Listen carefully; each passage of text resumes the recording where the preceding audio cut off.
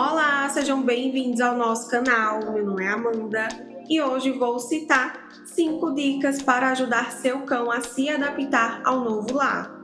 Mas antes, deixe seu like, se inscreva no nosso canal e ative as notificações para receber vídeos toda semana de como cuidar do seu cãozinho.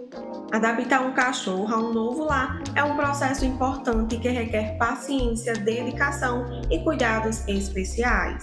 Isso porque cães e gatos costumam ser territorialistas e o novo espaço pode causar estranheza, mudança de comportamento e até mesmo problemas de saúde se ele não estiver se adaptando bem.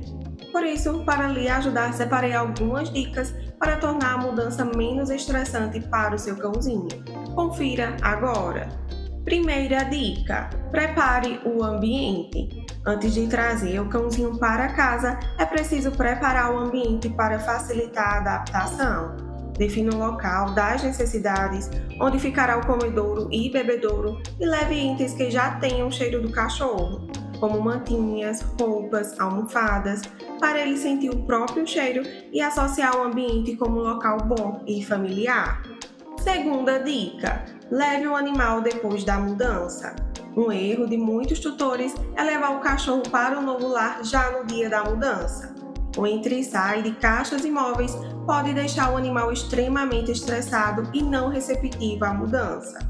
Além disso, como a porta fica aberta por muito tempo durante o momento da mudança, também aumentam as chances do pet acabar fugindo. Por isso, o ideal é que ele não esteja presente nesse momento. Tente deixá-lo com amigos, familiares ou algum hotel para que ele só chegue na casa nova depois que as coisas estiverem mais arrumadas e tranquilas. Terceira dica: não lave as coisas do animal antes da mudança. Os pets possuem grande conexão através dos cheiros das coisas, principalmente do local onde costuma dormir e dos objetos que costuma brincar.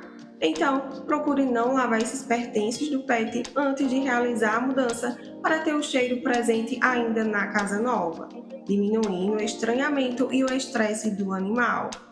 Quarta dica: mostre todo o imóvel para o pet. Procure apresentar o um novo imóvel para o animal para ele ir se familiarizando e se acostumando com o novo lar. Mas não seja rápido. Deixe o animal cheirar tudo o que quiser e gastar o tempo que precisar em cada espaço. Dessa forma, ele deixa o próprio cheiro nos lugares e começa a se sentir mais relaxado, confortável e ambientado. Quinta dica: mantenha a rotina do cachorro. Cachorros são animais que costumam ter uma rotina bem definida, com o tempo de brincar, de fazer necessidades, comer e entre outros pontos.